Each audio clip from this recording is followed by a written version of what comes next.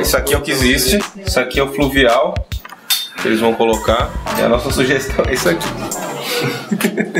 Está aqui no Estúdio Mola, onde o arquiteto uh, Marcusso, o designer Dandan e Kel Show, a administradora Kel Show, se reuniram e convencionaram um, um metrô, né?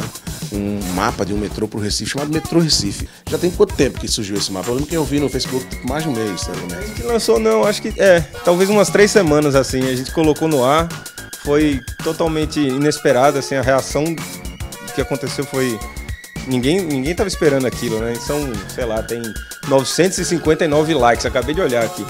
Tem, tem 650 compartilhamentos. A tentativa foi fazer o seguinte: a pessoa sai de casa e anda no máximo um quilômetro, chega numa estação. Onde merecia uma estação, onde precisava ter uma estaçãozinha, colocar uma estação lá, usando a lógica da malha urbana mesmo, respeitando as vias. O que a gente quer mesmo é que é, as pessoas continuem falando a respeito e, e esquentando a conversa, dando ideias, sugerindo. Pô, tem um monte de gente falando assim: ah, não dá para construir subterrâneo. Certeza que não dá? Eu não sei, não. Isso é pala, né, gente? E, e, assim, se não der, não tem problema. Tem um monte de outras soluções. Tem um monte de jeito de fazer funcionar um metrô lindo aqui. Não dá para fazer subterrâneo? Olha aqui, a solução é o VLT. Tal. Pra, pra acabar com a desculpa, não tem desculpa.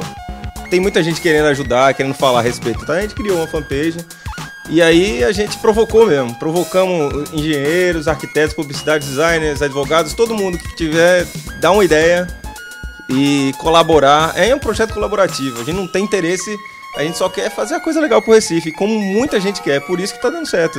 O Recife ama essa cidade.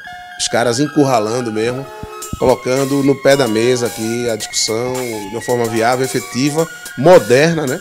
E transparente, que é essa história da colaboração que é o mais sensacional de todos, de tudo, né? A cidade é nossa, somos nós responsáveis por ela, Marcusso. Valeu, mano. Beleza, mano. Valeu.